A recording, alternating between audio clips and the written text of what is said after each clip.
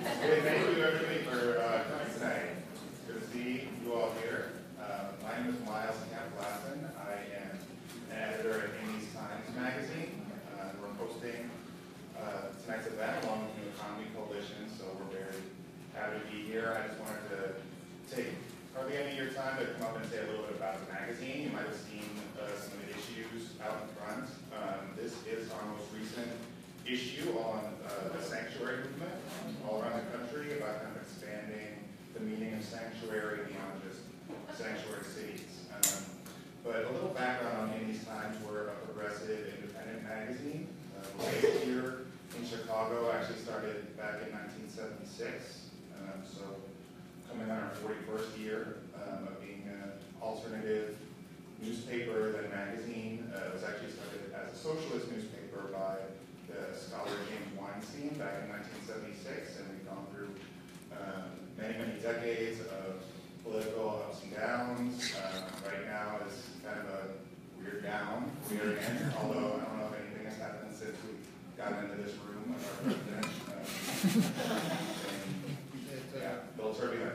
Um, but at any time, we're just committed to advancing movements. That's really what we are focused on as a publication, is advancing movements for social, economic, uh, racial, and environmental justice. That's kind of the core mission of In These Times. We provide coverage in ways the corporate media usually does not. Uh, right now, it's actually a pretty great time to be a political, progressive, alternative newspaper because people are really looking for that right now. As you can imagine, we actually have just hit 50,000 subscribers. Nice. Uh, for us, so we're excited about that. We also just came out with a book. Um, called The Age of Inequality. Um, and it has contributions from people like Bernie Sanders, Arundhati Roy, um, Chris Hayes, Barbara Ehrenreich, people that have written for in these times over the years. Um, so that's available now. It's really great and prescient book, I think, right now. Um, and of course, we're really committed to covering alternatives to capitalism, to corporate capitalism. And that's um, been a long-standing part of our mission.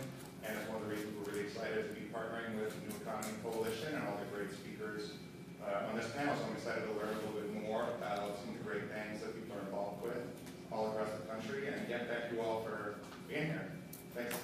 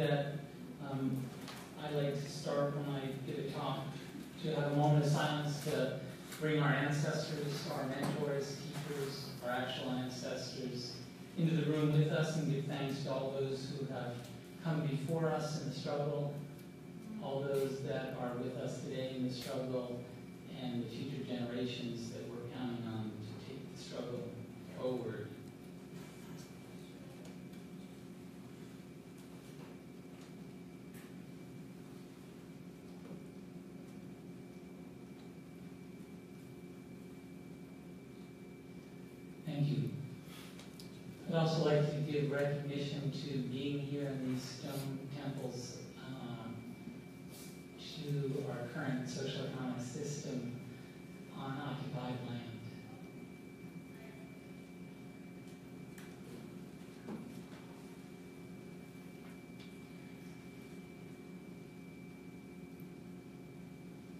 So as we move forward into this panel, for me, I'm, I'm proud to be here as part of this visionary organization, New Economy Coalition, dedicated to building grassroots power by weaving together many beautiful threads produced by our 185 and growing member organizations.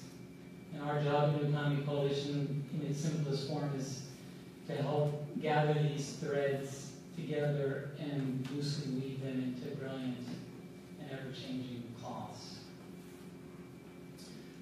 So we do this by this weaving work by bringing people together to build trust, generate new dreams, create new joint action, developing skills to tell more compelling stories.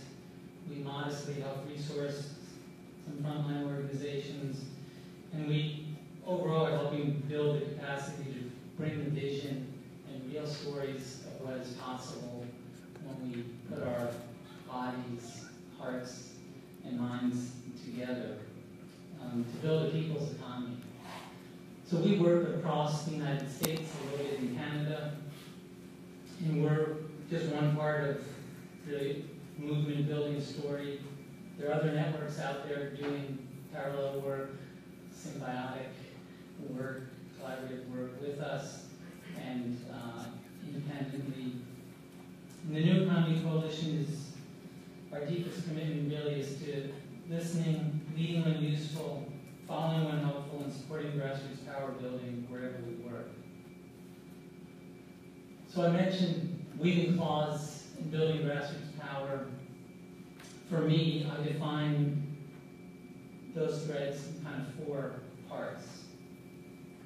The first part is the healing work that all of us are doing, healing the open wounds of slavery, indigenous extermination, racism, imperialism, whiteness, patriarchy. The list, unfortunately, is long.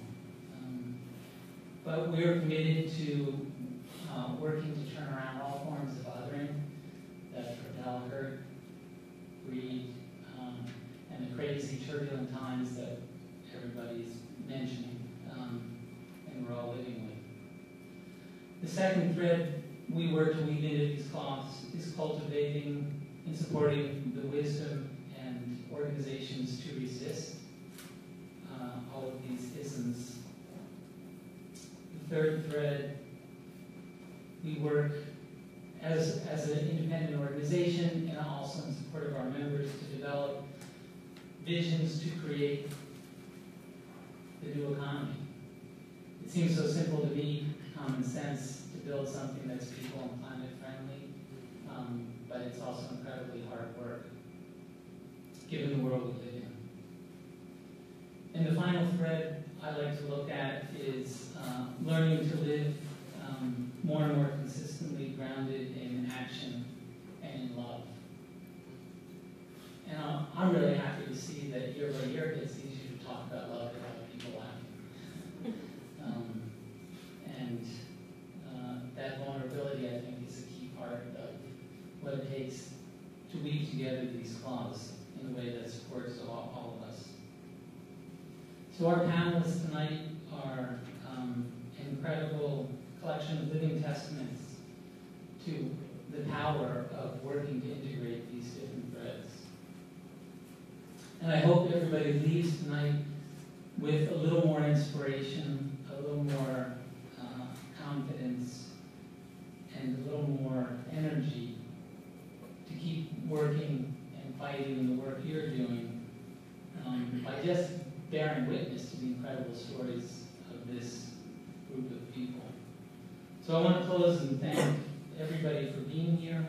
Um, may we all find the, the inspiration to continue organizing, healing, resisting, imagining, loving. Enjoy the evening.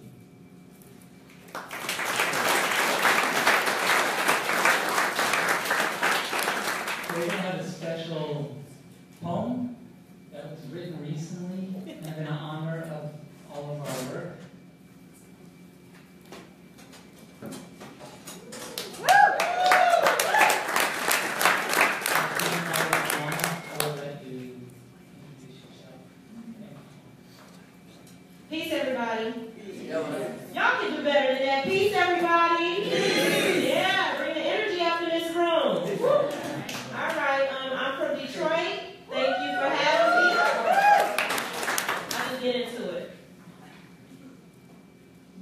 tangled web they weave. Our mangled strands escape defeat. We cachet force on frontline streets, resisted and vision through battle heat. We reclaim scraps they hurled at us, innovated through losses, spirit travels on earth. We kicked and screamed and clenched our fists. We vowed and vowed to push through this. In food desertion, we imagined gardens. In dehydration, we took it further. Filtration systems and aquaponics, co-ops in Jackson, BYP in Chicago.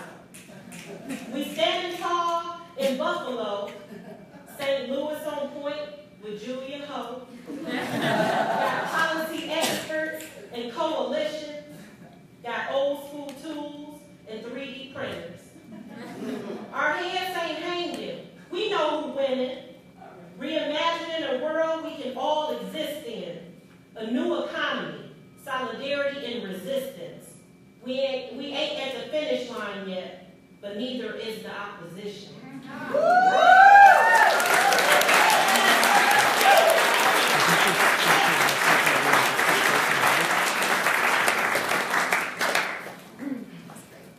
Awesome, thank you, Tawana. Can we give it up for Tawana? one more time? Uh, How's everybody doing? My name is Anand Jahi. I'm the program director for the New Economy Coalition. It's great to have everybody here. Um, I'm going to be moderating the panel today. So I'm going to ask my panelists to please run up, take a seat, um, and I'll introduce everybody. Can we give them a round of applause?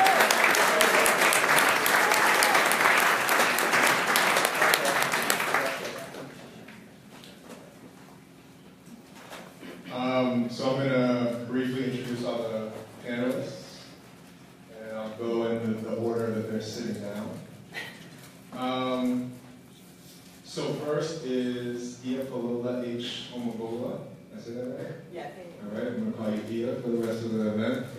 Um, Iya hails from Cleveland, Ohio, and was raised by activist parents.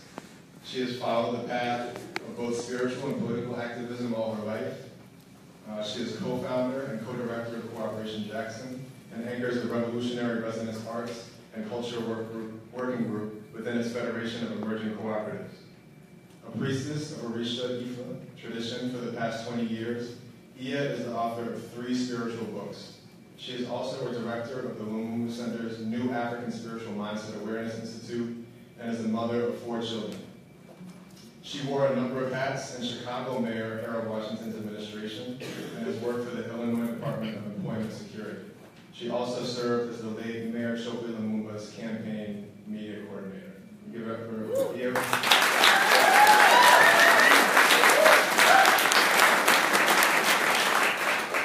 Uh, next we have Julia Ho, uh, who's based in St. Louis, Missouri, and is the founder of Solidarity Economy St. Louis, a network of groups and individuals building an economy based on the values of justice, sustainability, self-determination, and cooperation.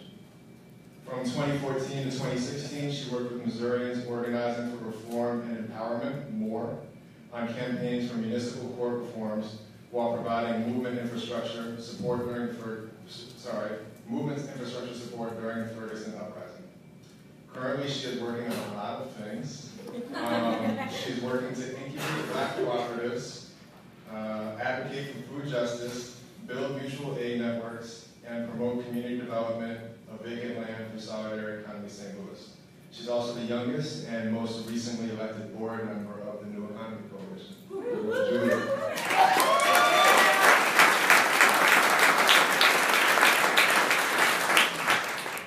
Um, next, we have Amara Enyia, um, who is a public policy expert on city and state policy, as well as international affairs and foreign policy expertise in Central Asia, Africa, Latin America, and the Middle East. Dr. Enyia has worked on, in municipal government, the private sector, and the nonprofit sector.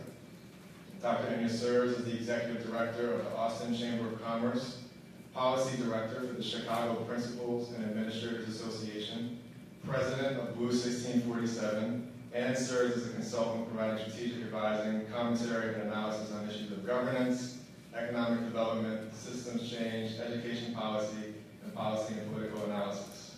Is that, is that all? Um, Dr. Enyia is a longtime advocate for expanding cooperative economic models in Chicago and is set to launch the Institute for Cooperative Economics in 2017. She has also, also worked on establishing a public bank and a financial transaction tax. Let's give it up for Amara.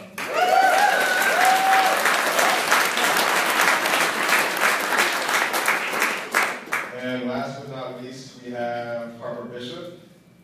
Harper is the Economic and Climate Justice Coordinator at Open Buffalo. Harper came to this position in 2016 with over a decade's worth of nonprofit management experience and progressive policy expertise.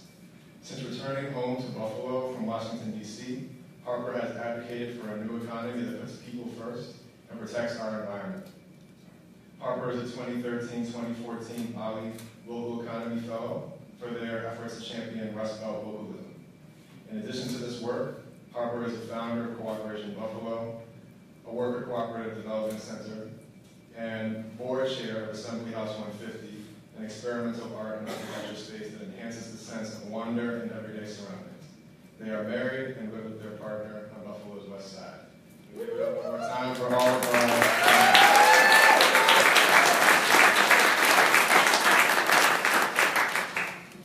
So, um, I'm gonna pose a question. Uh, I think the first two questions I'm gonna pose and ask everybody to respond, and then we're gonna have a couple um, individualized questions, and then towards the end, we can open up to questions from the audience. Um, so the first thing that I'd like the panelists to respond to is to just give us um, an idea beyond the, the bios that I just read of who you are, where you're coming from, um, the context where you do your work, um, and paint a picture for us of the work that you do, and especially the new economy work that you do. Um, Iya, would you want to get us started? I'll sit down here. Okay. Uh, so, what had happened was, I woke up one day and found myself in Jackson, Mississippi. Um, and I'm, I'm glad that that ended up that way. So what we're doing in Jackson is looking at uh, alternative ways of uh, being able to provide a future for ourselves, provide a future for our city, provide a future for our country, and provide a future for our earth. And so some of the ways in which we have done this began a long time ago. There were visions that had been um, created to uh, find a way for us as a people to come together to reestablish ourselves, to understand who we are, to get back in touch with our roots, to be able to understand what it was that need, we needed to do based on those things that we had been taught initially from conception, day one uh, of our ancestors. And so what that entailed was learning how to work together cooperatively and be able to take our own um, initiatives into creating economical, economic situations, uh, sustainable situations, and uh, governance as far as our, our people were concerned. So Cooperation Jackson was a uh, mindset, a focus that had been long in the making. Uh, and it's actually modeled after Mondragon uh, Spain's uh, cooperative movement. Uh, but it was a vision that Chokwe Lumumba, our late uh, mayor of uh, Jackson, Mississippi, had brought to the forefront. Um, upon his passing, we had a, a, convention, we had a conference called Jackson Rising, and at that point, even though it looked as if we were not going to be able to have that conference, we were able to announce to the city and the world that Cooperation Jackson was indeed uh, being formed and that our platform was looking at creating worker-owned cooperatives, which are businesses where the owners operate, govern, and uh, sustain those businesses, and uh, to find ways of becoming um, a solidarity, sustainable, human rights uh, uh, initiative. So we worked on creating some emerging cooperatives, um, and at this moment we have Freedom Farms, which is a uh, worker-owner agricultural farm that's in the back of uh, the center. We have a Nubia's Place Cafe Cafeteria, which is uh, a catering, which is a worker-owner um, um, situation that uses the produce from the farm. And then we have Green Team uh, cooperative, which is uh, dealing with landscaping and composting, which uses the refuse from Nubia's Place to go to the farm. So we're beginning this model of this integral uh, relationship that becomes, begins to show how we can become self-sustainable. These are things that we have somehow been forgotten or have been taught to forget, that we have the initiatives and the abilities to be able to do. Right. The, the difficult thing about all of this is that we have been dummied down so badly that we have been taught that we have to depend on outside structure, Right. outside governance, we have to depend on others to teach us what it means to be human, what it needs to be means to be uh, cooperative, what it means to be take the initiative of our own to move forward. And these are the models, and these are some of the things that we're uh, trying to set forward. Thank you. Do what you want to take us. Woo. Hi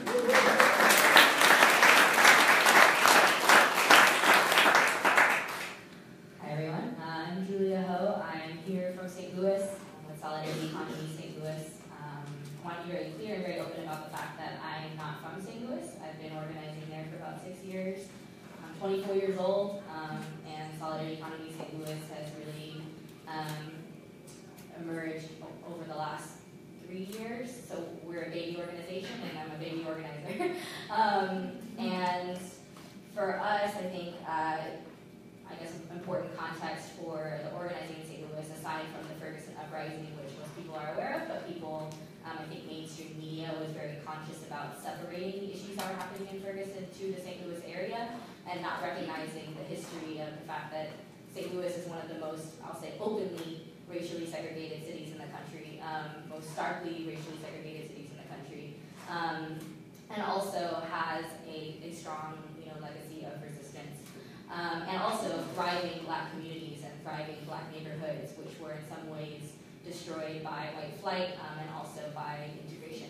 Um, and so all of that to say is that uh, our work in St. Louis has shifted in so many different ways over the last three years. Um, and uh, to be honest and perfectly upfront with you guys, like our very first iteration of Solidarity Economy St. Louis um, was an outgrowth of a, a project of a uh, kind of post-ACORN organization in St. Louis called More Missourians Organizing for Reform and Empowerment, which at that point had been um, primarily a direct action organization um, focused at the uh, intersection of climate, racial, economic justice, but really worked to support movement movements. So, uh, you know, the foreclosure crisis in 2008, um, Occupy in 2011, and then, of course, the Ferguson uprising in 2014. Um, and so as a project within that, uh, one of the first, um, our very first iteration of Solidarity Economy St. Louis was really, uh, it was a bunch of 20, 30 something white people working on environmental and sustainability um, nonprofits. And um, very quickly, you know, we made a decision that that was not the direction that we wanted to go in. Um, and so what we shifted our work to do was to actually support campaigns that were fighting uh, the criminalization of poverty, which in St. Louis um, is sort of one of the most visible ways that's manifested is that people are routinely locked in cages for not having enough money to pay uh, a fine for a traffic violation or a you know very simple or um, part of the fragmentation of the St. Louis region results in fact that we have 91 independently governed municipalities in our county, um, one of which is Ferguson. And so we think about what happened in Ferguson, there are 90 other Fergusons um, very nearby and which very much have the same issues. And so you're talking about 90 municipalities that have their own police department, that have their own court system. And if you're a person who has to drive through those municipalities to get to work, you have the potential to get like five tickets for the same thing um, on your way to work and on your way back. And you miss one of your court dates, you got a warrant. So um, that was the issue that we that we really um, kind of uh, that we really propelled ourselves into, and that was just a few months before Mike Brown was killed, before um, this sort of got launched into a national issue. Um, and so that's where our work evolves from. That's the context of what we do. And I think now, coming up on almost three years after that, we're in a very, uh, I think, a natural evolution of that moment where we are working to grow um, a, a network um, of groups of individuals, and we um, very intentionally define groups in a very loose way. We're not just talking about established organizations, the typical community organizations that come to coalitions. We're talking about um, informal collectives of people, houses of folks. We're talking about gardeners and farmers. We're talking about artist collectives, um, small businesses, which are often left out of these conversations as well. So um, we are very broadly defining what it means to form that community um, and trying to, I think, uh, do two very distinct things. One of which is to provide an avenue and a way for any individual um, who feels like they have resources and they want to align those with their values. And you're a person who knows that you're spending your money every day somewhere and you feel like you want to spend it somewhere that, that counts. And so we want to provide an avenue for that and we want to provide an avenue build with each other on that level. But um, at the same time, we also need to recognize that many of the institutions in which our members want to invest in don't exist yet. Um, and some of those, you know, I would love to be able to shop at a nearby black-owned grocery store that served like healthy, affordable, locally sourced food. Um, unfortunately, that doesn't exist yet. And so what we have to do is be very intentional about finding the people who are building those alternatives and investing in them. Um, and that doesn't mean just monetary investment. Um, really uh, putting ourselves at, you know, um, creating some mutual risk and some mutual stake in manifesting that vision. So, um, so we're really working to uh, see those projects emerge. And I think where St. Louis is right now is that we're in a very interesting moment where so many um, of those projects are coming from all different places. And many of the Ferguson uh, organizers or people who are really involved in that movement are now shifting towards these models of, of cooperative economics. And even if they're not calling it the solidarity economy, we have to be um, very intentional about seeking those folks out, about building relationships with them, and supporting them in very tangible ways. So that's a little bit about what we're doing.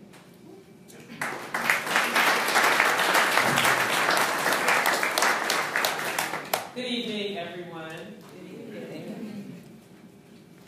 It's a little low. It's like 85 degrees in Chicago. Good evening, everybody. How are you? I'm fantastic. Um, my name is Amara Enyia, and I am a native daughter of Chicago. So I want to formally welcome all of you. I know you were welcomed earlier, but welcome you all to what is an amazing city. Um, an amazing city with some fairly significant challenges. And I'm not sure how many of you maybe took a tour or were able to visit, hopefully, some of the other neighborhoods outside of the city center to really get a sense of what this city is. Um, it's a unique city, actually, in the, in the country. Um, and I'm hoping that as we have these conversations, you'll be able to see how what we're talking about here with this relates to building a solidarity economy, how that can play out. I like to say that I'm a West Sider by way of the original West Side, South Nigeria. but I most certainly live on the west side of Chicago.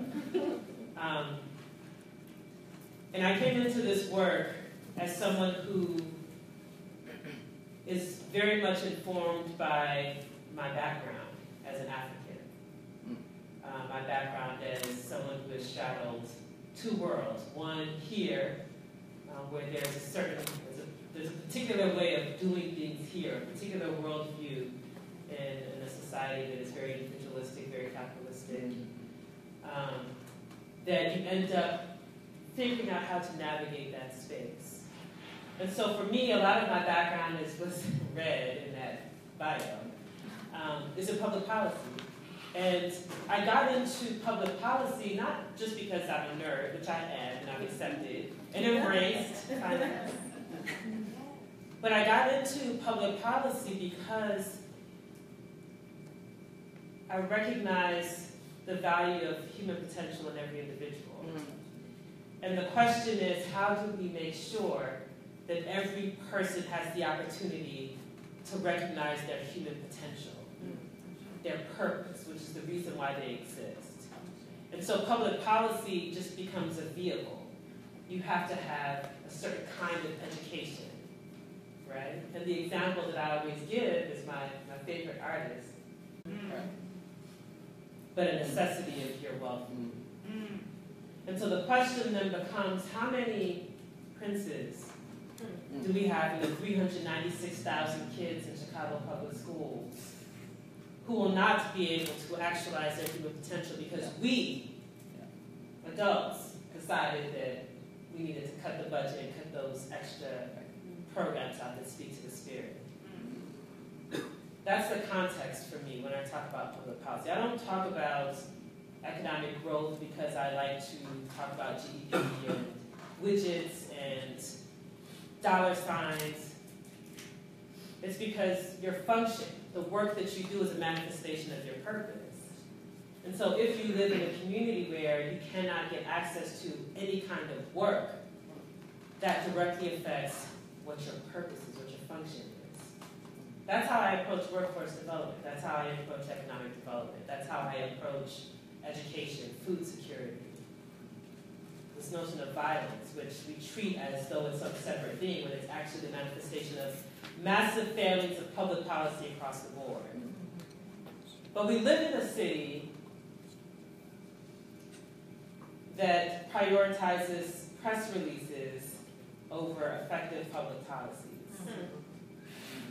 It prioritizes the press over people's purpose. And that reduces, especially those who are not privy to the corridors of power and privilege, to mere widgets, things that can be shifted about, displaced at the whims of the power structure. But the biggest tragedy is that by living in this system, it reduces our ability to imagine. It actually crushes your imagination. Mm-hmm. And so that's the biggest power that we have. What you can imagine, you can create. And we all have the power to create. You're born with that power. But when you live in a system that erases your ability to imagine, then the parameters within which you live are the extent of your life. So you can't move beyond the limitations of your block, the limitations of the poor school system, the limitations of your poor economic situation, and you can't even beyond imagine a reality beyond what you see. And that is the biggest hurdle. Because if you can't imagine it, you can't create it. And that actually benefits the status quo, who is busy imagining all the things that they want with the money and resources that they're getting access to. And so I see my role and my positioning as someone who is working alongside people to help them unlock the power of their imagination, to recognize who they really are, who we really are, and to use that to inform public policies that we put forth boldly.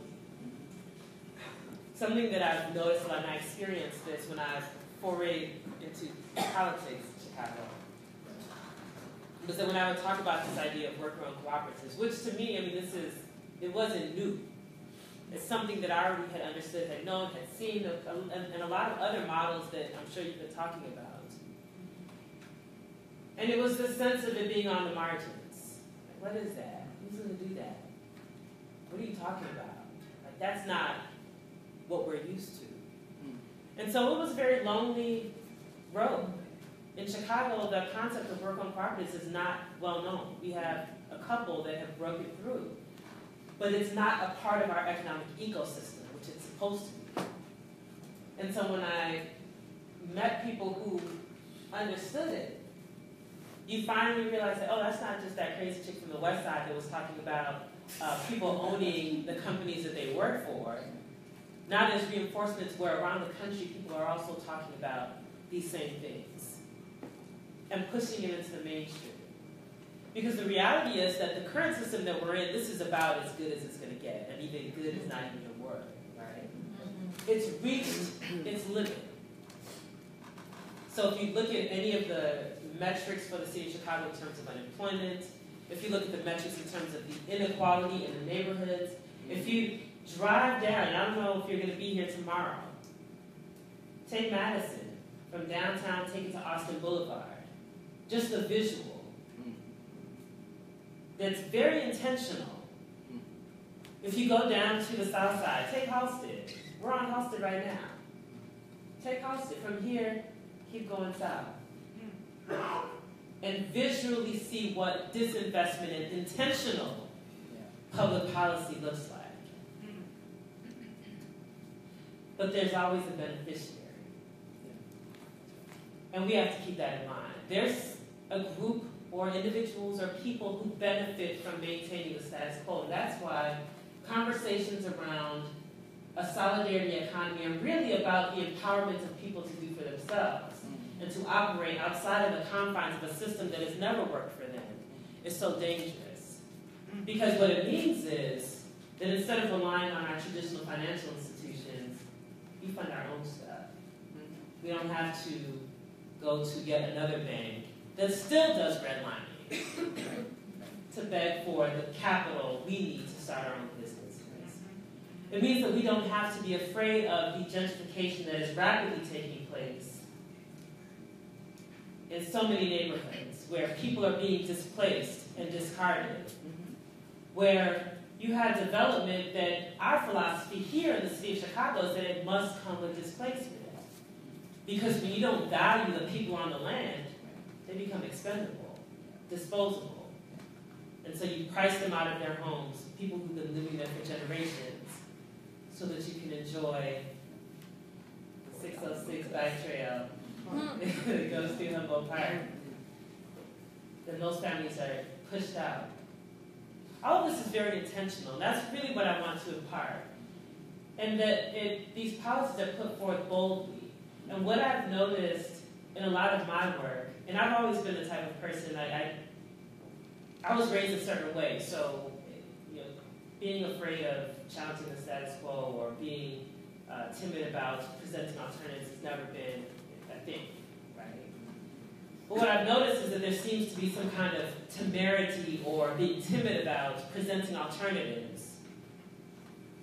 But I always say here in Chicago, they were very bold when they wanted to take public parkland and build a museum monument to a multi-billionaire on land that belongs to the people, to the tune of over a billion dollars borrowed. But in my neighborhood, for me to get a quarter million dollars for a development, oh, our budget is really slim right now. So who is using their imagination and who is bold about putting forth their vision? So we have to be bold. This isn't fringe. Quite the contrary, generations of people before us have understood the economy. Just because we don't use the parlance that is uh, unique, I guess, to the United States, which is the Western concept. These concepts are known to indigenous groups around the world who have practiced them with fidelity and with success until what is now mainstream disrupted and destroyed. So my, I guess my challenge is as we're talking about how to build a solidarity economy, what that looks like, is that we're very intentional and bold about what we're proposing. Because quite frankly, we don't have a lot of time, hmm. and there really aren't any alternatives.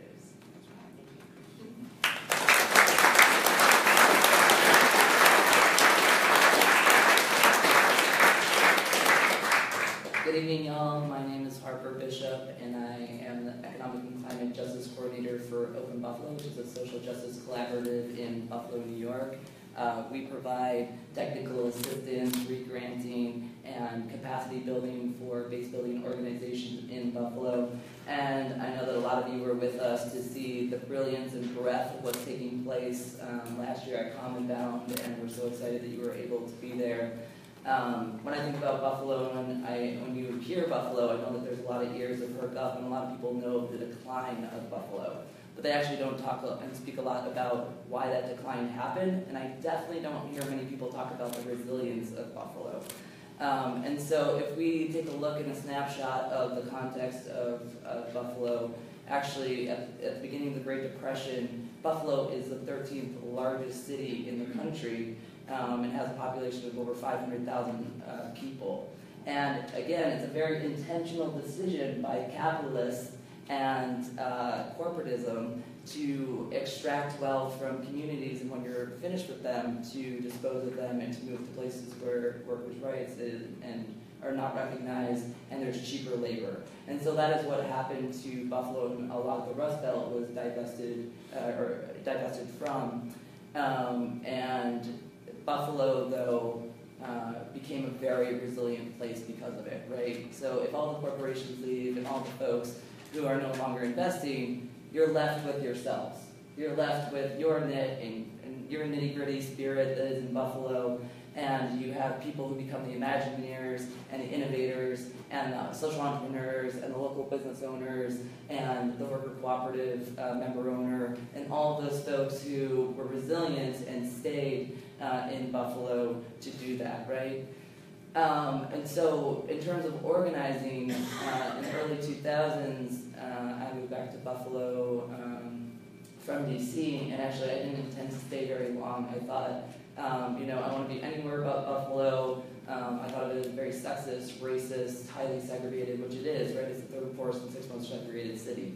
But then I got, I got a closer look at some of the brilliance and some of the people who now I get to call friends and colleagues. And I saw the work that was happening on Buffalo's west side in the Green Development Zone. And you're probably familiar with People United for Stable Housing and the work that they've been able to do to really create the infrastructure in a holistic way um, that teaches us that what we're onto and what we're talking about can be a reality. And it's reality for um, blocks, 23 uh, blocks of the west side are taken up by affordable housing, a quasi land trust, um, uh, energy uh, efficiency, homes, weatherization, energy democracy, geothermal, um, food systems, um, really, really beautiful things happening on the, out, the natural outgrowth of the work that uh, Push has put in. And because of that, uh, there is work that I'm involved in as part of my job at Open Buffalo is to uh, create a community land trust on Buffalo's east side, uh, which is predominantly and historically African American uh, neighborhood, African American neighborhood, which has been completely disinvested in over years.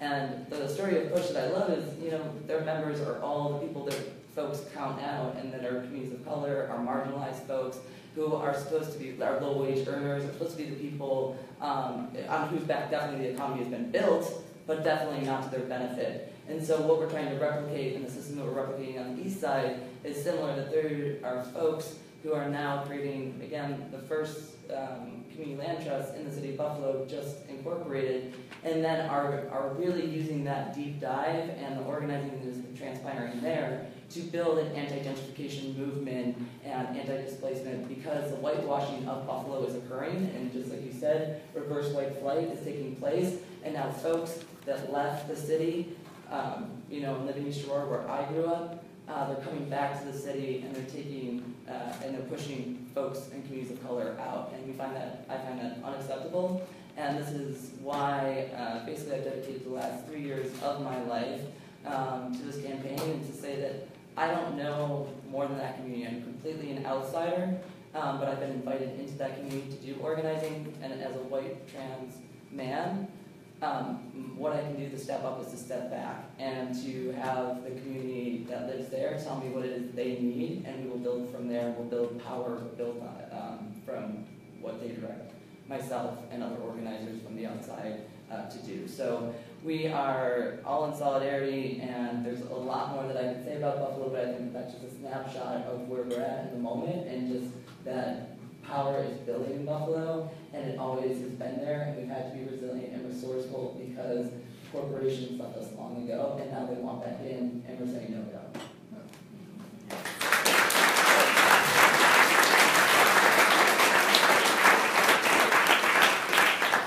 Great, thanks to the four of you for those responses.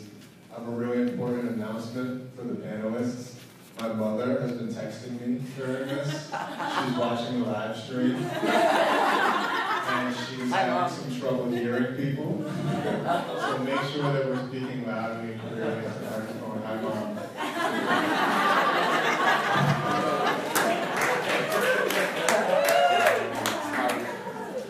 So, the, the theme of this panel is um, we're, we're focusing on connecting uh, strategies, resistance strategies, um, with alternative building. Um, and so that's something that I want to hear uh, from the four of you on, but I wanted to see if I could put it to Julia first. Um, because you already, you already touched on this a little bit, um, but I wanted to see if you could expound a little bit about um, the history of solidarity, kind of St. Louis, and how that grew out of uh, black resistance movement in Ferguson and the St. Louis area. Um, and I think general lessons learned about connecting resistance and alternative movement.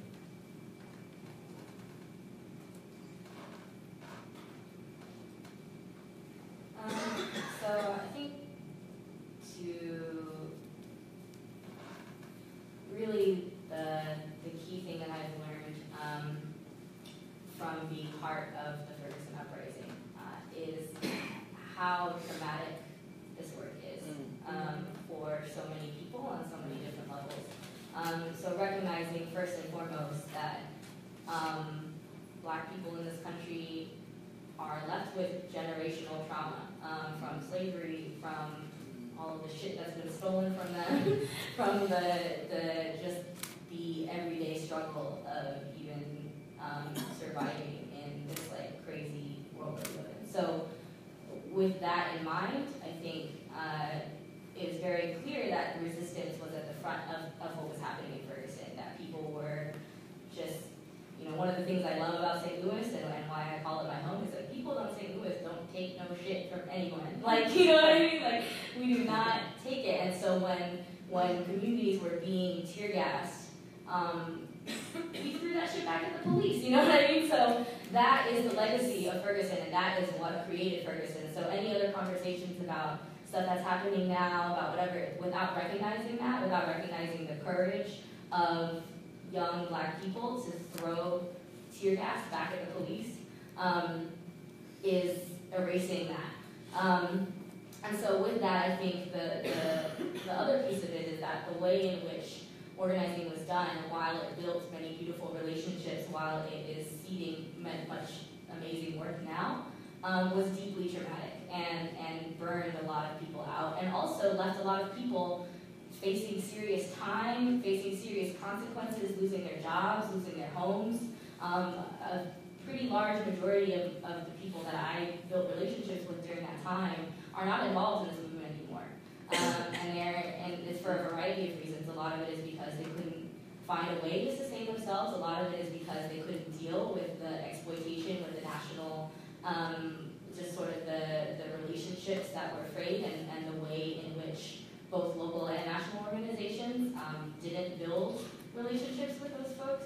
Um, and also just because of the real trauma of putting yourself in that position of being faced um, with that kind of violence um, in your face every single day for years. So I think that with that context, for me, when we talk about building and resisting, um, we have to resist from a place of strength. And I have no problem with, with resistance. I direct action and, and all the protesting stuff is are, those are things that I was that brought me into this movement, and so I, I believe in those things. But I believe that they have to be done from a place where we're defending the things that we've built, um, and we haven't built those things yet. You know, we have to build something in order to be able to defend it. And I have nothing wrong, you know, I have nothing against resistance, but I do have, um, I am, I refuse to continue to beg and to demand solutions from people who never intended to give them to us in the first place, and who also really don't know what we even need. You know, um, most of these people in power that we're asking solutions from don't recognize that we have power, um, and also that in some ways when we uh, when we make those demands, we don't recognize that we have power, and we don't recognize that we understand and we know the solutions that actually need to happen because we're the ones who face the problems every day. So I think um, going into uh, this conversation about resisting is that we have to resist from a place where people are healthy and well. Um, and the only place that we can do that from, the only way we can do that is by building structures, by building infrastructures, by building um, communities that are prioritizing the health and wellness of our people. So if we're not doing that, then resistance uh, is short-lived. You know, it's never going to sustain. Um, it's certainly never going to transform um, societies in the way that we want it to.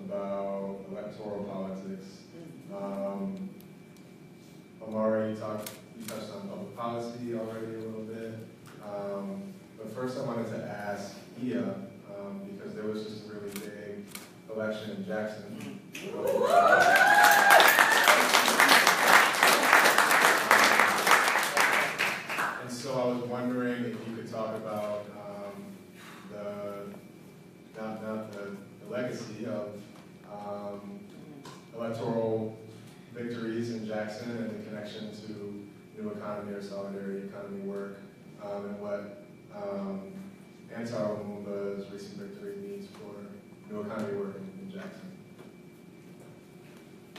Thank you. Before I do that, there are two quick things I wanted to say. I wanted to say that it is intentional that they took funding from schools to give us a lack of creative thinking so that we can now become problem solvers. That was intentional. Yes. And then the second thing I wanted to say is power is something that we can define. And that's something that we need to start learning how to define. And I think that um, what has happened in Jackson recently kind of speaks to that build and resist theme and understanding and the sequestering of power. Um, we recently had a, uh, an election, uh, a primary election for uh, mayor in Jackson, and uh, Chokwe Antar Lumumba won um, outright. He, uh, there won't be a runoff.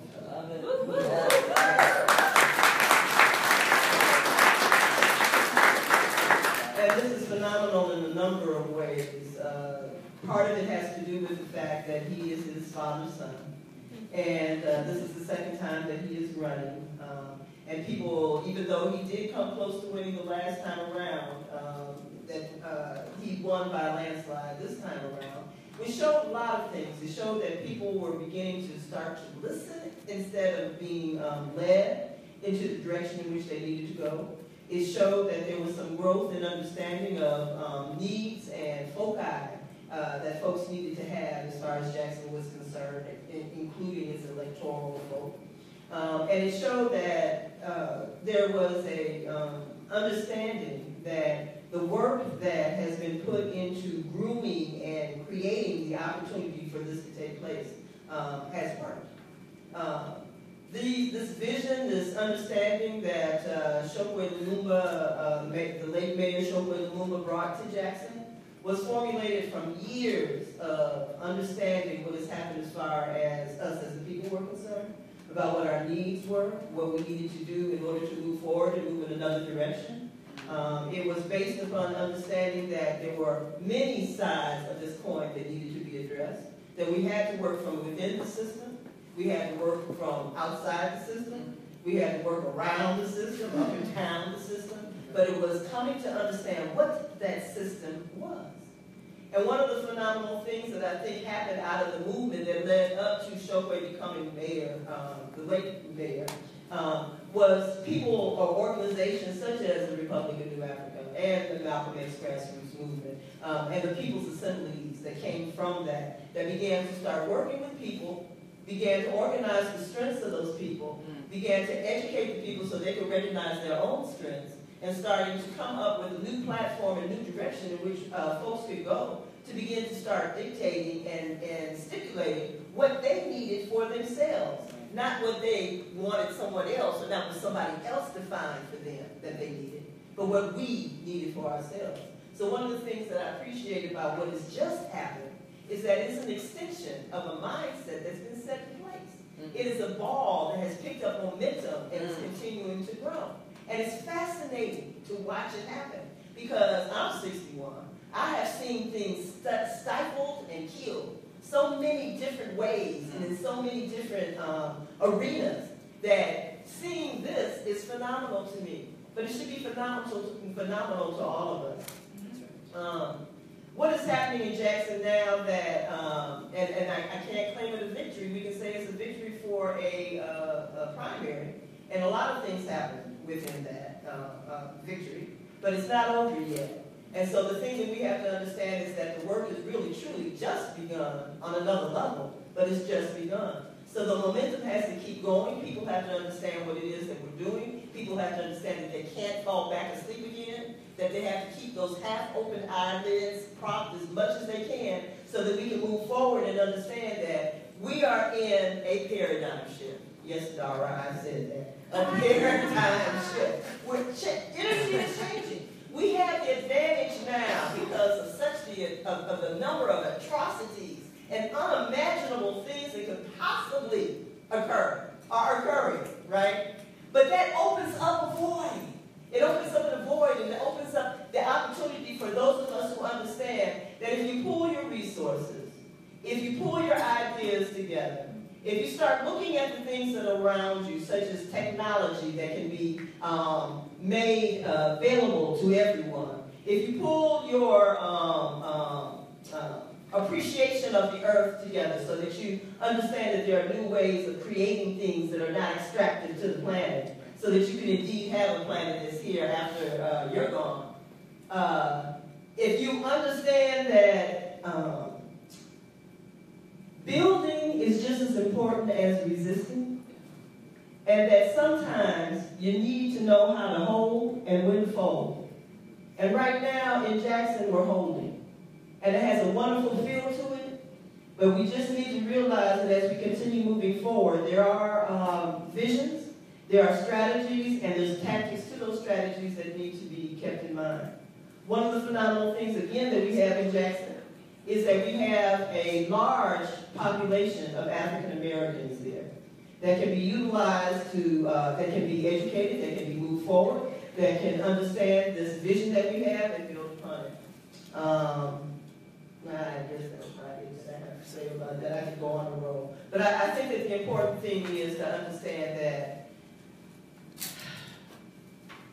the ball is in our game, is in our, in our hands and that we have to make sure that we do it, we play the game uh, successfully, and that we work together with others who have the same opportunities and the same um, visions and the same um, desires to work together.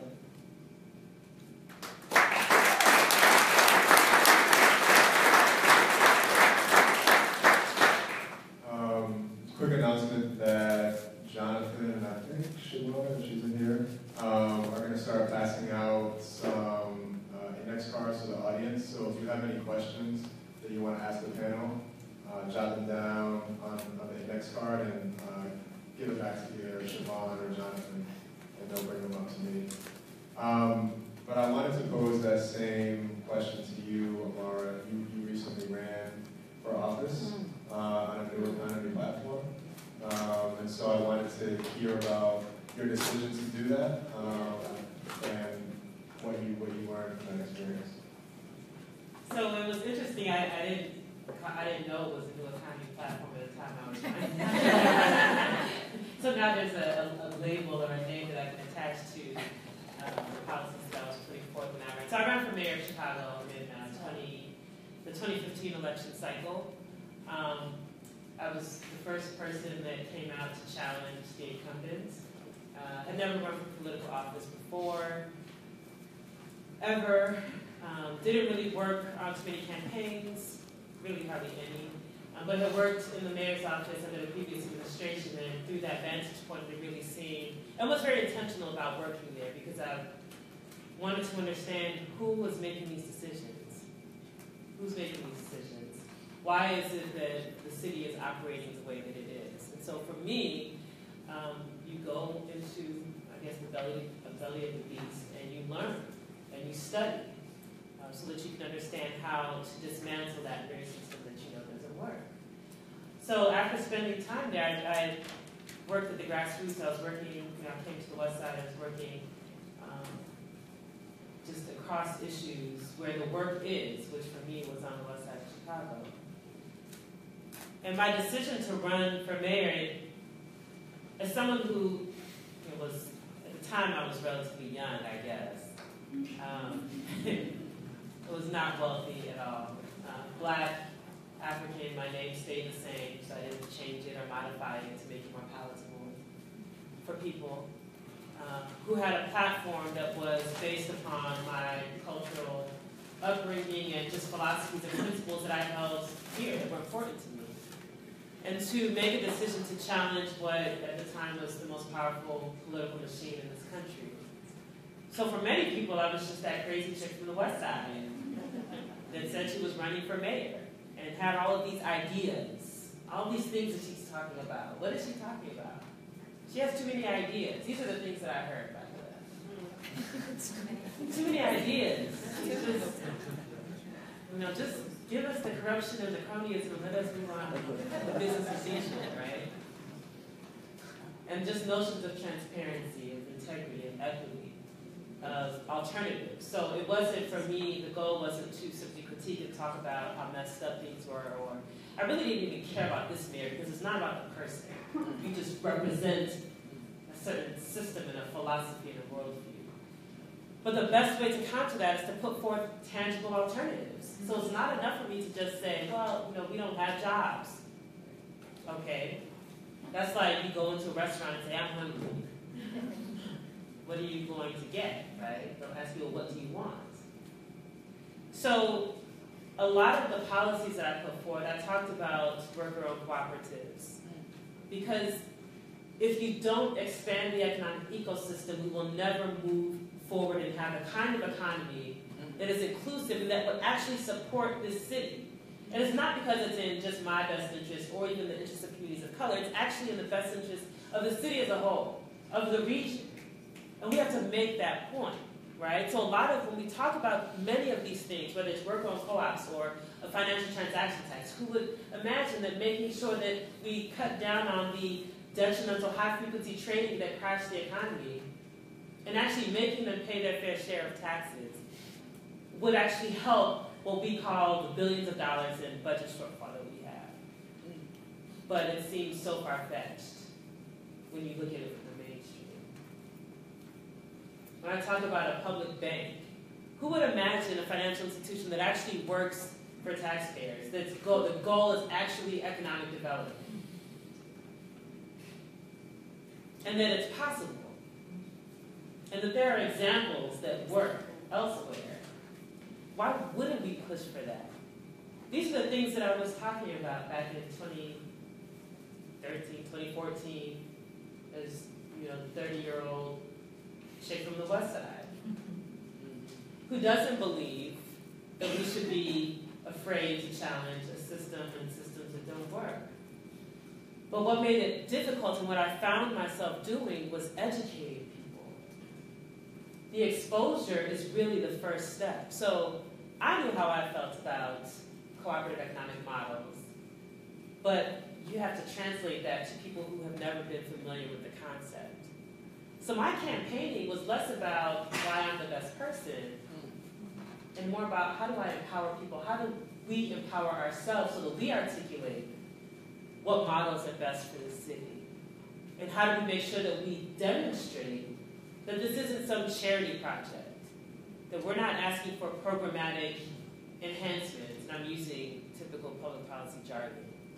Mm. Programmatic enhancements. Because it's out of the benevolence of those in leadership. But we have to prove that when you've lost 200,000 residents in 10 years, 180,000 of whom were black, you've lost a significant portion of your tax base. so when you're talking about how broke you are, think about all the homeowners that are no longer here. When the redlining continues with traditional banks, so you can't start your small business, how many people are not hired in our communities because that small business, that entrepreneur couldn't open their small business? And you're not getting the tax revenue from those businesses.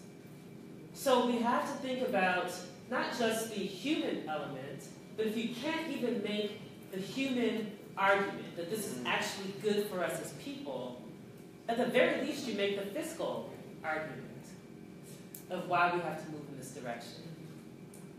And so that was what drove a lot of my talks and campaigning and going around the city and really being someone who you're almost screaming into the wilderness because a lot of these concepts simply hadn't taken hold. We had a few examples of, um, there's a really good example of a worker-owned cooperative here in the city, but even now, it hasn't emerged into this level where it is part of the mainstream. And so the Institute for Cooperative Economics is recognizing that not only do we build the cooperatives, we actually have to work within the legislative process to make sure that the city has a hand in helping to proliferate this model.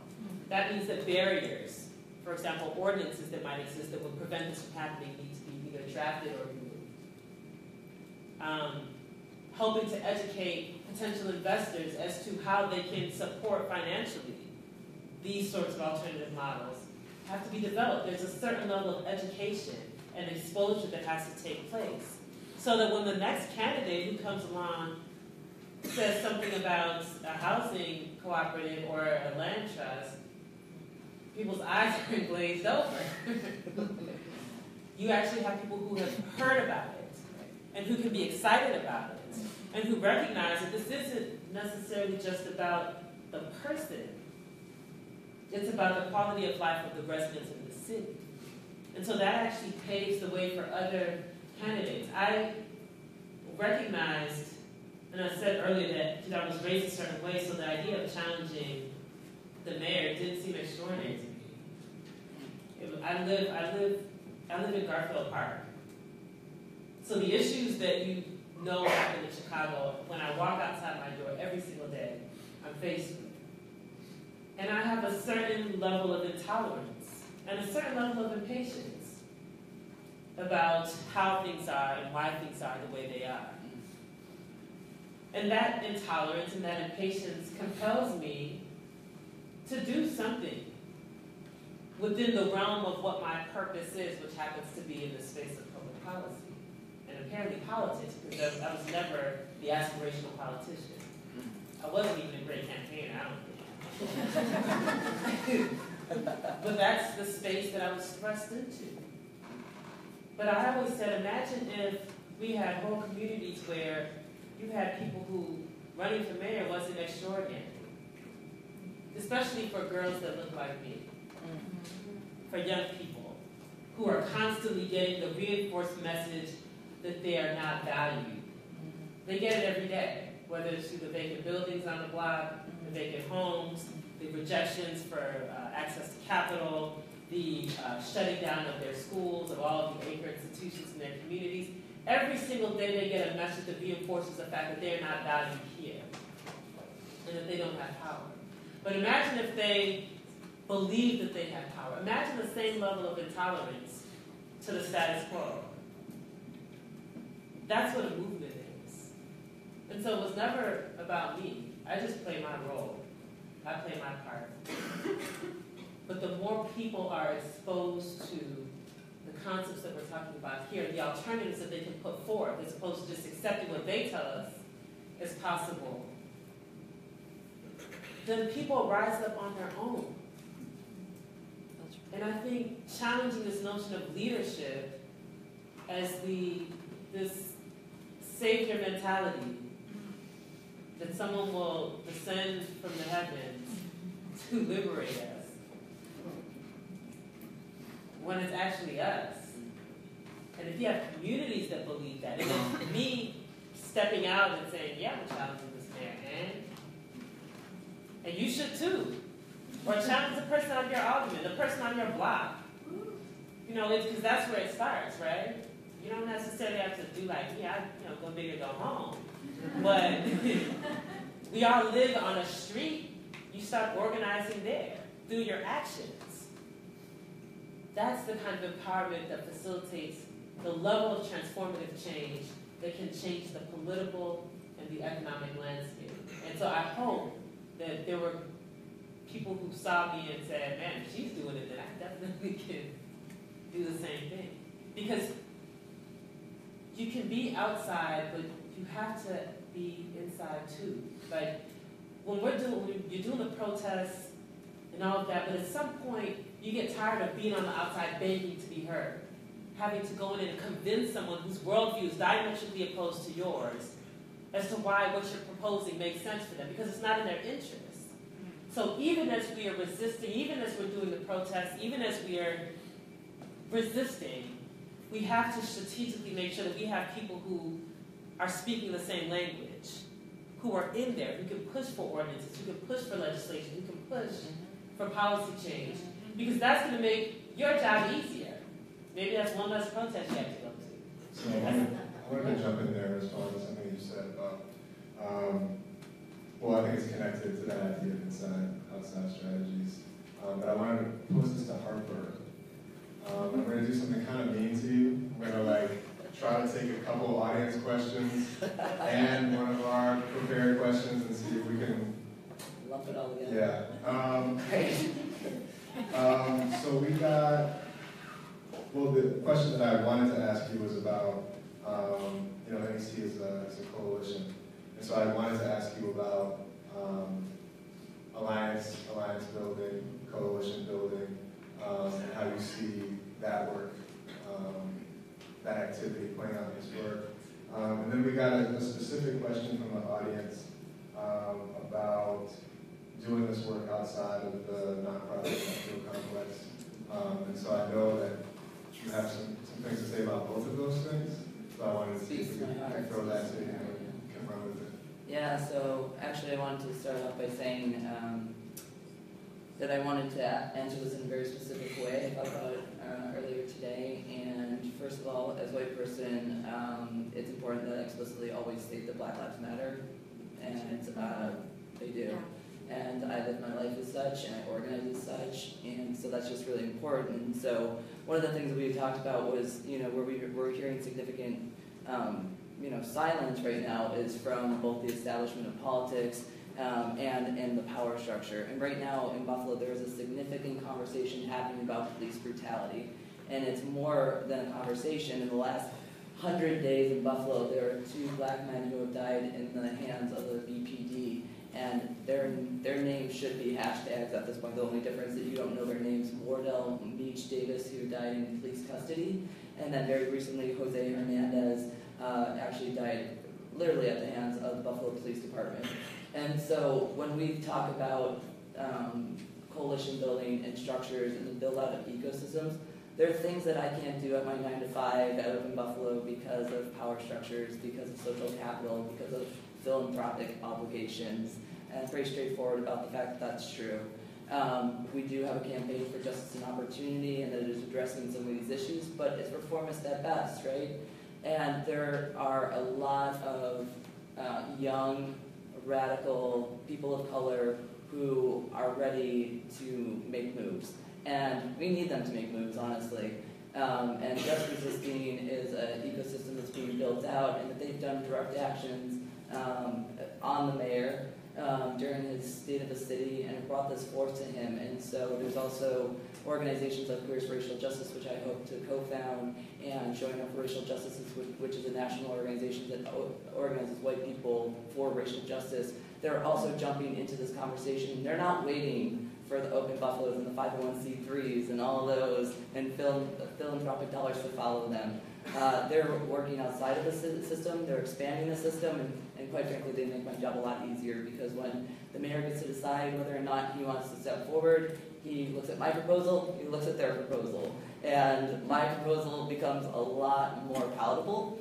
And uh, just quite frankly, and he knows that wherever he goes at this point, that he's going to be shouted down by um, a lot of people. And so, whereas I respect everything that's been talked about in the resist build, I think that it's simultaneously happening that we have people who are out there on the streets resisting and calling out the powers that be where they need to, and then we have folks who are also offering long-term solutions, like I just talked about, um, you know, the community land trust, will- which will exist, you know, for generations to come. And so that work both needs to happen, knowing when we go hard on one, or when someone else is playing a different uh, role, um, in a different role, and actually not fighting on that, but saying we're making, we're doing complementary uh, things, and that we're building this out together and being strategic, and we're talking to one another about what, how this might move forward. Um, I think that that is something I want to bring to a national audience because in Buffalo, we really need your assistance in calling out the fact that we, you know, that there are two young black men who are not part of my community tonight.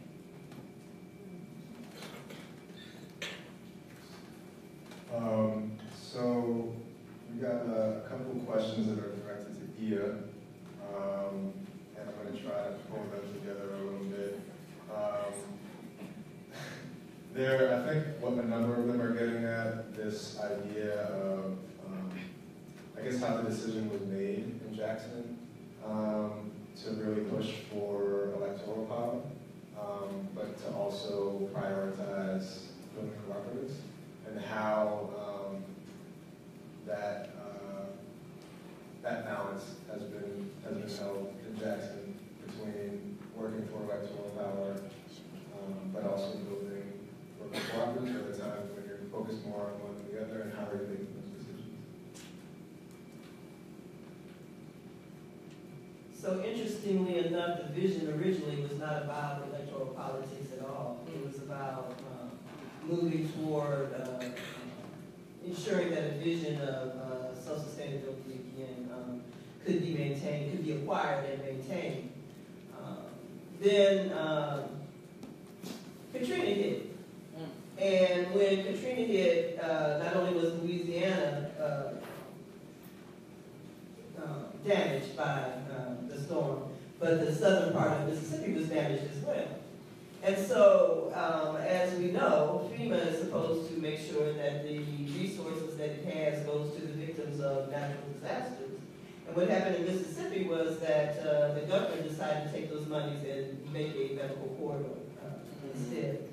So uh, parts of the, the things that were happening as far as Malcolm X grassroots movement uh, was concerned uh, was making sure that people understood what was going on as far as their rights were concerned. So the Assembly started, and they were um, able to uh, make people informed within their particular communities, and they come together collectively to decide what needs to happen um, as far as addressing these issues that come up within the communities.